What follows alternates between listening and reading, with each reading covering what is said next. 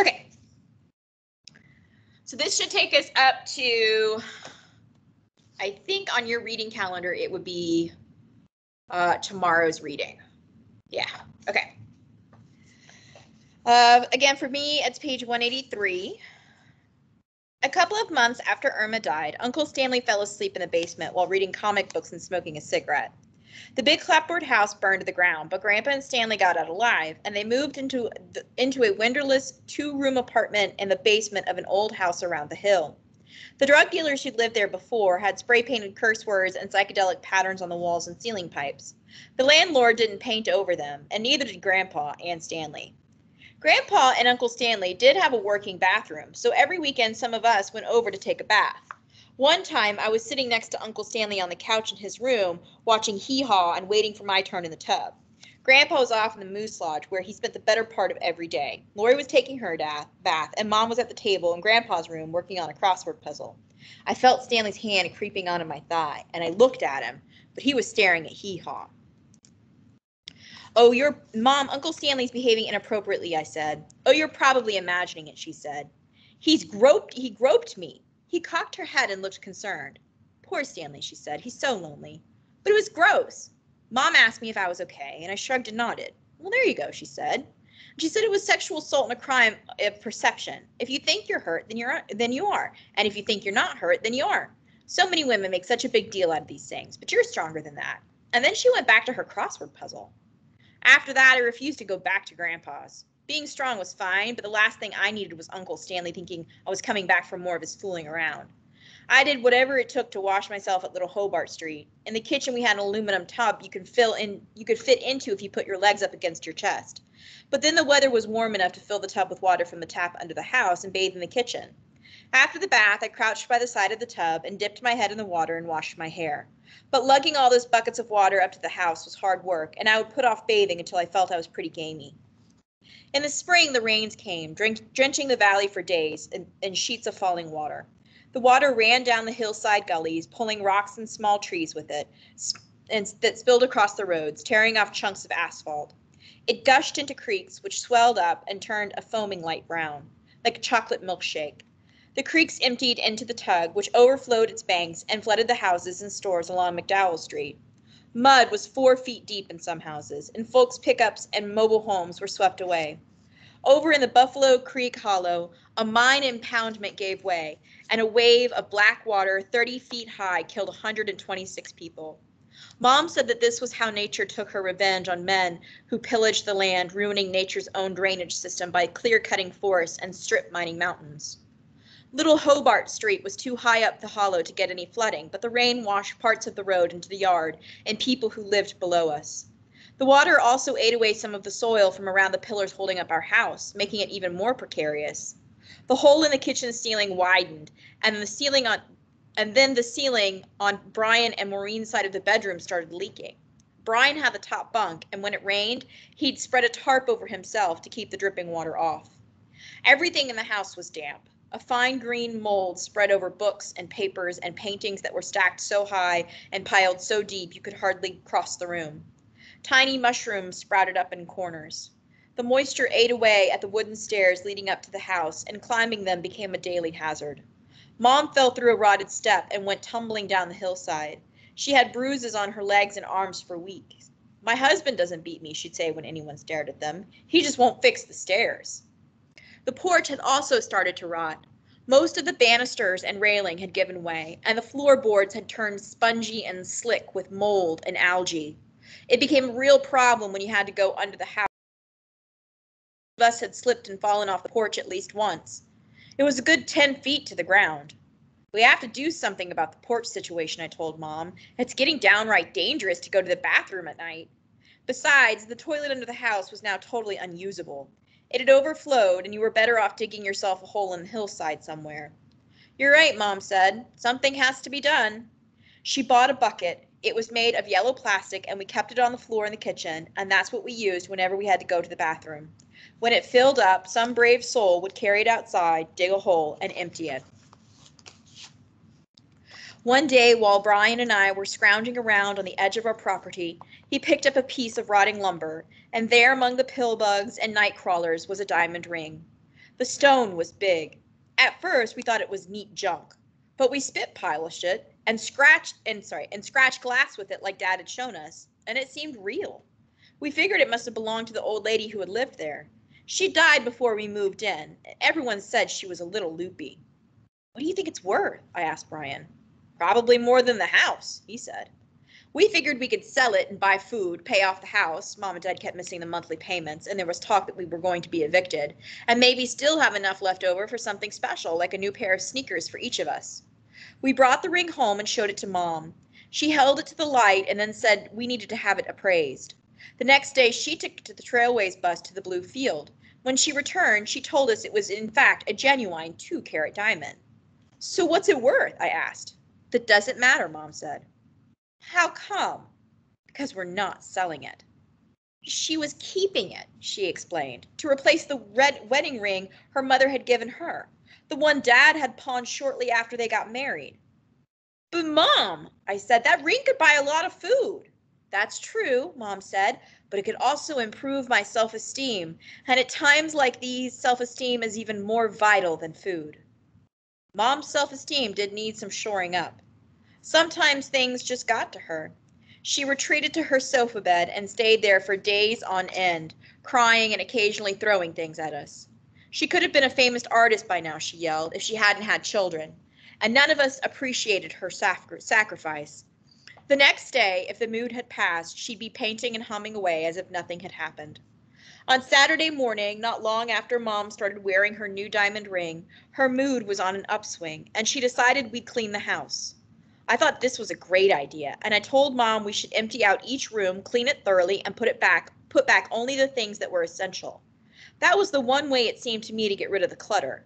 But mom said my idea was too time consuming, so we all ended up doing all we ended up doing was straightening piles of paper into stacks and stuffing dirty clothes into the chest of drawers. Mom insisted that we chant Hail Marys while we worked. It's a way of cleansing our souls while we're cleaning the house, she said. We're killing two birds with one stone. The reason she'd become a tad moody, she said later that day, was that she hadn't been getting enough exercise. I'm going to start doing calisthenics, she announced. Once you get your circulation going, it changes your entire outlook on life. She leaned over and touched her toes. When she came up, she said she was feeling better already and went down for another toe touch. I watched from the writing desk with my arms folded across my chest. I knew the problem was not that we had all had poor circulation. We didn't need to start doing toe touches. We needed to take drastic measures. I was 12 by now, and I had been weighing our options, doing some research at the public library, and picking up scraps of information about how other families on Little Hobart Street survived. I had come up with a plan, and I had been waiting for the opportunity to broach it to Mom. The moment seemed ripe. Mom, we can't go on living like this, I said. It's not so bad, she said. Between each toe touch, she was reaching up into the air.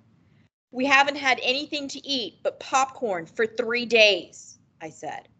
You're always so negative, she said. You remind me of my mother. Criticize, criticize, criticize. I'm not being negative, I said. I'm trying to be realistic.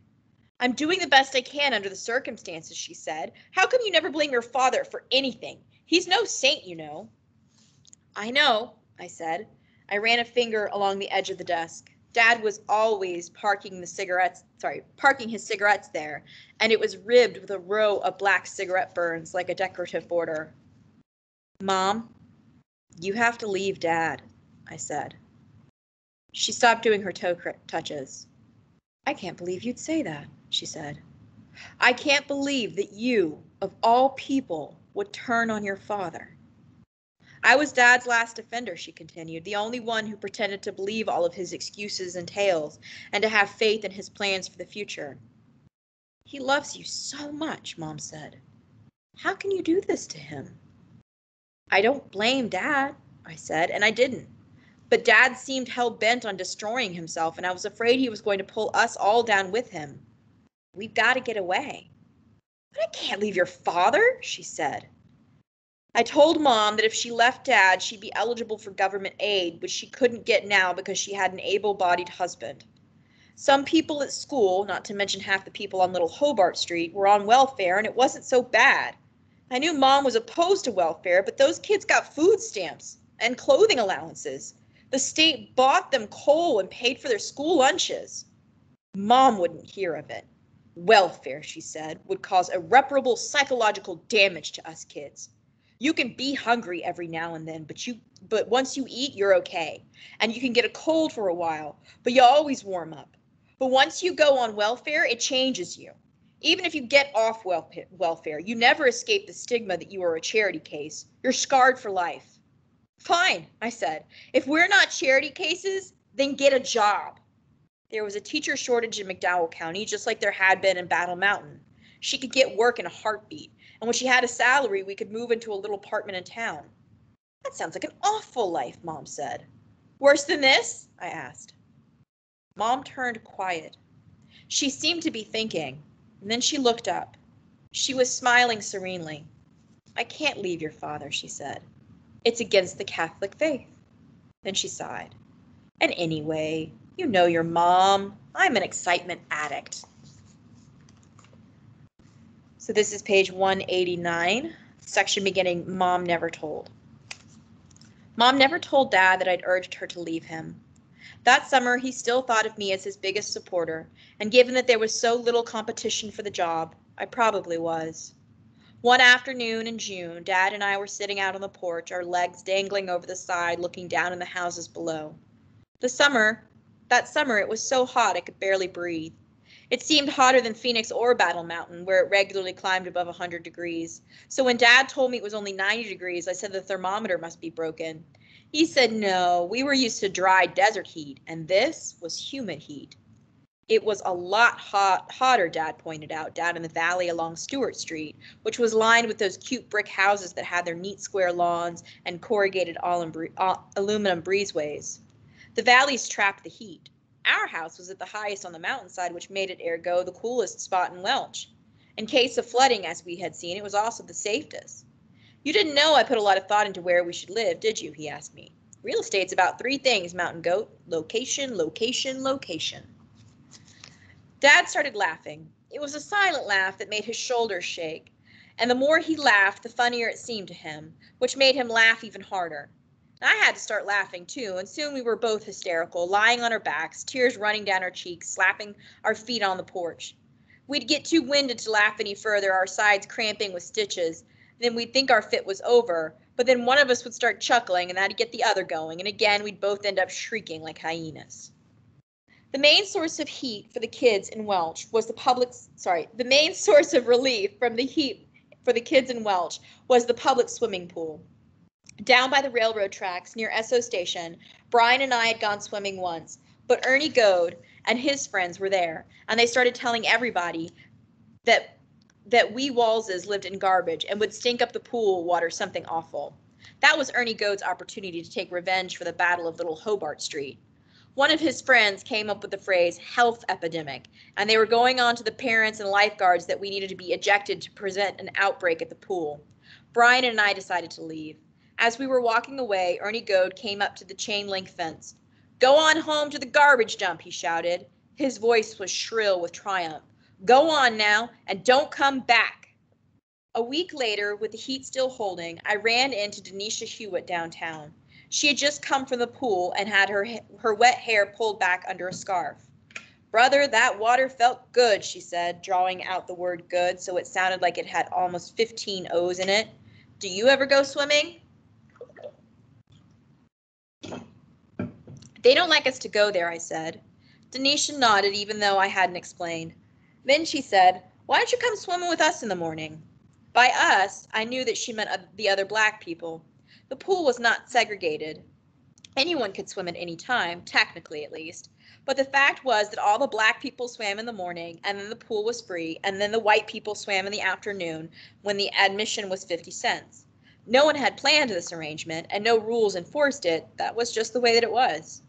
I surely wanted to get back in the water, but I couldn't help but feel that if Dinitia took if I took Dinitia up on her offer, I'd be violating some sort of taboo. Wouldn't anybody get mad? I asked. Cause you're white, she said.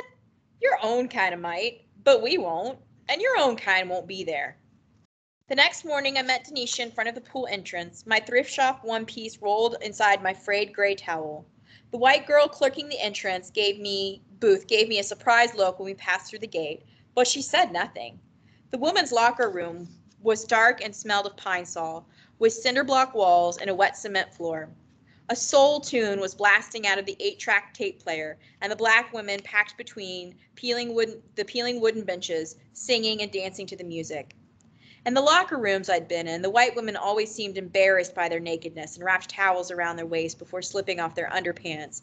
But here, most of the women were buck naked. Them were skinny with angular hips jutting, and jutting collarbones.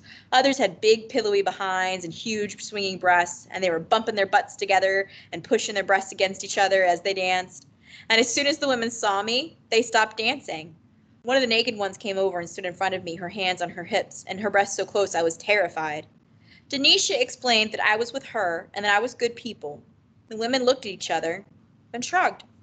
I was going on 13 and self-conscious, so I planned to slip my bathing suit on underneath my dress, but I worried this was only make, would only make me more conspicuous. So I took a deep breath, stepped out of my clothes. The scar on my ribs was about the size of an outstretched hand, and Dinitia noticed it immediately. I exclaimed, I explained that I'd gotten when I was three, and that I had been in the hospital for six weeks getting skin grafts, and that's why I never wore a bikini. Dinitia ran her fingers lightly over the scar tissue. It ain't so bad, she said. Hey, Nisha, one of the women shouted. Your white girlfriend's got a red blush. What you expect, Dinitia asked. That's right, I said. Collar got, got to match the cuffs. It wasn't a line I heard Dinitia use. She smiled at it, and all the women shrieked with laughter. One of the dancers bumped her hip against me, and I felt welcome enough to give a saucy bump back. Dinitia and I stayed in the pool all morning, splashing and practicing the breaststroke and the butterfly. She flailed around the water almost as much as I did. We stood on our hands and stuck our legs out of the water and did underwater twists and played Marco Polo and chicken with the other kids. We climbed out to do cannonballs and watermelons off the side, making big geyser like splashes and to drench as many people sitting poolside as possible. The blue water sparkled and churned white with foam. By the time the free swim was over, my fingers and toes were completely wrinkled, and my eyes were red and stinging from the chlorine, which was so strong it wafted up from the pool and a vapor you could practically see. That afternoon, I was alone in the house, still enjoying the itchy, dry feeling of my chlorine scoured skin and wobbly bone feeling you get from a lot of exercise when I heard a knock at the door. The noise startled me. Almost no one visited us at 93 Little Hobart Street. I opened the door a few inches and peered out. A balding man carrying a file folder under his arm stood on the porch. Something about him said government, a species Dad had trained us to avoid. Is the head of the household in? he asked. Who wants to know? I said. The man smiled the way you do to sugarcoat bad news. I'm with Child Welfare, and I'm looking for Rex or Rosemary Walls, he said. They're not here, I said. How old are you? he asked. Twelve. Can I come in? I could see he was trying to peer behind me into the house. I pulled the door all the way closed except for a clack, crack. Mom and Dad wouldn't want me to let you in, I said, until they talked to their attorney, I added to impress him. Just tell me what it is you're after and I'll pass on the message. The man said that someone whose name he was not at liberty to disclose had called his office recommending an inquiry into the conditions at 93 Little Hobart Street, where it was possible that dependent children might be living in a state of neglect. No one's neglecting us, I said. You sure? I'm sure, mister. Dad work? Of course, I said. He does odd jobs, and he's an entrepreneur. He's developing a technology to burn low-grade bituminous coal safely and efficiently. And your mother? She's an artist, I said, and a writer, and a teacher. Really? The man made a little note on his pad. Where? I don't think mom and dad want me talking to you without them here, I said. Come back when they're here. They'll answer your questions. Good, the man said. I will come back. Tell them that. He passed a business card through the crack in the doorway, and I watched him make his way down to the ground. Careful on those stairs now, I called. We're in the process of building a new set. After the man left, I was so furious that I ran up to the hillside and started hurling rocks, big rocks that looked like two hands to lift, into the garbage pit. Except for Irma, I had never hated anyone more than I hated that child welfare man, not even Ernie Goad. At least when Ernie and his gang came around yelling that we were trash, we could fight them off with rocks. But if that child welfare man got into his head that we were an unfit family, we'd have no way to drive him off. He'd launch an investigation and end up sending me and Brian and Lori and Maureen off to live with different families, even though we all got good grades and knew Morse code. I couldn't let that happen. No way was I going to lose Brian and Lori and Maureen. I wished we could do the skedaddle. For a long time, Brian and Lori and I had assumed we would leave Welch sooner or later. Every couple of months, we'd ask Dad if we were going to move. And he'd sometimes talk about Australia or Alaska, but he never any action. And when he asked Mom, she'd start singing some song about how to get up and go and had to got up and went. Maybe coming back to Welch had killed the idea Dad had used to have of himself as a man going places. The truth was, we were stuck. When Mom got home, I gave her the man's card and told her about his visit. I was still in a lather, and I said that since neither she nor Dad could be bothered to work, and since she refused to leave Dad, the government was going to do the job of splitting up the family for her.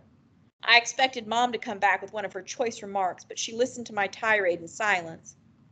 Then she said she needed to consider her options. She sat down at her easel.